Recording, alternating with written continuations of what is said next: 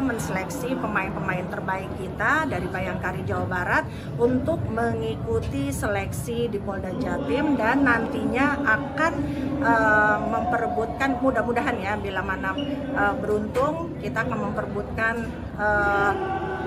Bayangkari Cup 2024 yang diinisiasi oleh kebanggaan kita Ibu Ketua Umum Bayangkari Nyonya Juliati Sigi Prabowo dan ini merupakan momen yang uh, untuk kita sangat uh, berharga ya. Jadi uh, mudah-mudahan hari ini tuh kita bisa mendapatkan pemain-pemain uh, terbaik dari Bayangkari daerah Jawa Barat. Mudah-mudahan uh, harapan kita uh, kita bisa memberikan kesempatan untuk bayangkari-bayangkari kita ini yang mereka memiliki potensi di bidang olahraga terutama bola voli uh, supaya mereka bisa tampil kembali.